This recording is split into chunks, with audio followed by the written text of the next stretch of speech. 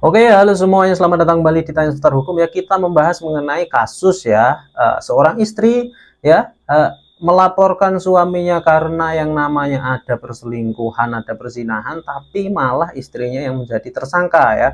Kena pasal Undang-Undang ITE ya. Oke, seperti halnya seperti seperti yang sudah sampaikan sebelumnya ya, bahwa ya ini mirip yang namanya seseorang menagih hutang ya. Hutangnya nggak dibayar habis itu diviralkan di status dibahas di status diviralkan diupload di media sosial ya. Akhirnya ya senjatanya makan tuan ya.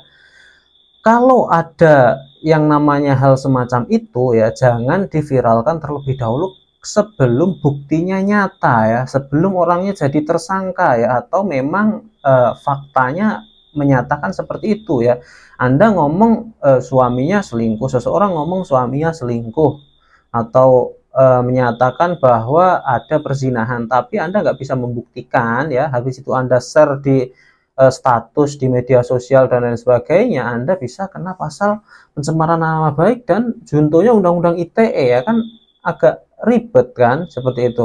Jadi ya Eh, karena pembuktian uh, perzinahan itu agak sulit ya. Pem pembuktiannya itu harus ada yang namanya uh, pengakuan atau terbukti secara nyata memang adanya uh, penetrasi ya ya atau ketangkep basah dalam sebuah kamar saling telanjang seperti itu ya kan kalau nggak ada bukti itu ya nggak bisa kena pasal perzinahan seperti itu jadi karena pembuktiannya sulit ya jangan tiba-tiba langsung diupload ya Siapkan buktinya yang lengkap terlebih dahulu baru Anda laporkan. Kalau sudah jadi tersangka dan sudah ada penetapan hakimnya, Anda bisa share faktanya ya. Jangan belum ada apa-apa langsung di-share ya. Tapi ini memang memang ya mau gimana lagi ya udah terlanjur emosi ya. Bagaimana pendapat Anda?